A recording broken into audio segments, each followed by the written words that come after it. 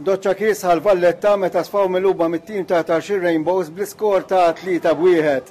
Tarxien marru fil-vantaġġ bi free-kick perfett mogħti minn Darren Falzon li għeleb għal kollox lil Henry Bonello. Tliet minuti wara azzjoni personali ta' Vito Plut li baqa' javanza fuq il-lemin, però x-xutt finali tiegħu spiċċa ftit barra.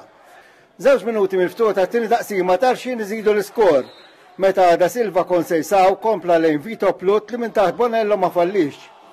Fil-50 minuta r-Rainbows skurjaw it-telet goal tagħhom, kien Matthew Spiteri li mattar saqajh u mill-viċin għeleb lill-goalkeeper Belti.